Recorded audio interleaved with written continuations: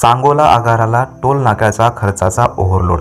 रत्नागिरी ते नागपूर राष्ट्रीय महामार्गावरील काम पूर्ण झाले असल्यामुळे अनकढाळ पाटी येथे टोल सुरू करण्यात आला आहे. यामुळे घायकुतीला आलेल्या एस टी महामंडळाला टोलच्या खर्चाचा ओव्हरलोड सहन करावा लागणार आहे. ग्रामीण भागात विद्यार्थी प्रवासी वाहतूक करणाऱ्या एस टी महामंडळ बसच्या बत्तीस फेऱ्यांना दररोज सुमारे साडेपाच हजार रुपये इतका टोल भरावा लागणार आहे. गेल्या दोन अडीच वर्षापासून कोरोनामुळे राज्यातील एस टी महामंडळ तोट्यात आहे. एस टी बस धावणाऱ्या अनेक मार्गावर कधीकधी अपेक्षित प्रवासीही मिळत नसल्याने काही मार्गावर एस टी बसेस बंद कराव्या लागत आहेत. तर काही मार्गावर विद्यार्थ्यांची गैरसोय होऊ नये म्हणून बसेस सुरू आहेत. त्यामुळे बसेस व कर्मचाऱ्यांचा पगार आणि उत्पन्न याचा ताळमेळ लागेना. सांगोला आगारातून आटपाडी कोंबडवाडी ढालगाव सातारा कोल्हापूर या मार्गावर दररोज एस टीच्या बत्तीस फेऱ्या होतात. विशेषतः कोल्हापूर वगळता ग्रामीण भागातील आटपाडी नागज ढालगाव कोंबडवाडी या मार्गावर धावणाऱ्या दररोज बावीस फेऱ्या होतात. यातील अनेक गाड्या मुक्कामी आहेत. या मार्गावरील सर्वच एस टी बसला प्रत्येकी एक फेरीसाठी दोनशे पंचेचाळीस रुपये पथकर भरावा लागतो.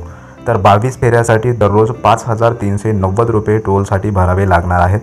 सांगोला एस टी आगारातून मासिक एक लाख एकसष्ट हजार रुपयांपेक्षा जास्त पैसे केवळ टोलसाठी मोजावे लागणार आहेत. खाजगी वाहतूक वाढल्याने व दुचाकींचा वापर वाढल्याने एस टीचा प्रवासी वर्ग कमी झाला आहे. त्यामुळे एस टीचे उत्पन्नही कमी झाले आहे. त्यास भरीस भर म्हणून आता टोलचा खर्च वाढला आहे. वास्तविक पाहता शासकीय विविध सवलती देणाऱ्या महाराष्ट्र परिवहन महामंडळाच्या बसेसना टोलमधून सवलत मिळणे अपेक्षित आहे.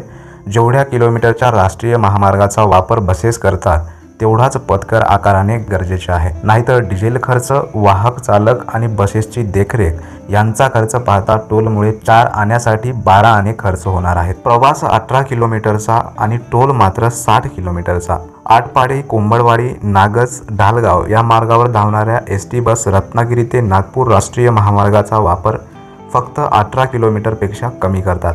परंतु टोल मात्र साठ किलोमीटरचा पूर्ण भरावा लागणार आहे. उत्पन्न चार आणे आणि टोल बारा आणे अशी अवस्था सांगोला आगाराची झाली आहे. या मार्गावर धावणाऱ्या बहुतांश एस टी बसेस ग्रामीण भागातील विद्यार्थी ने आण करण्यासाठी धावतात तर काही एस टी मुक्कामी आहेत.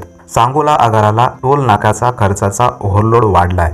या घटनेबद्दल आपल्याला काय वाटते? कमेंटमध्ये नक्की कळवा. व्हिडिओला लाईक करा व्हिडिओ जास्तीत जास्त शेअर करा आणि चॅनलला सबस्क्राईब करा. धन्यवाद.